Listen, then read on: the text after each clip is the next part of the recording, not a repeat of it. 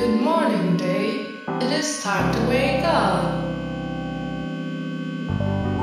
Dave. I am sorry, Dave, but staying in bed is not an option. Uh, According to Melena's data, your calcium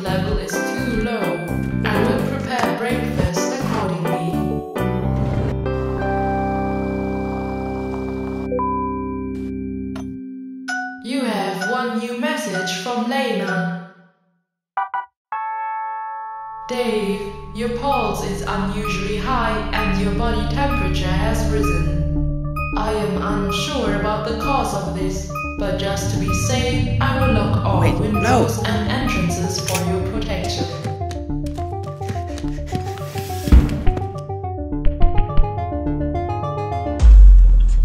Dave, please remain calm.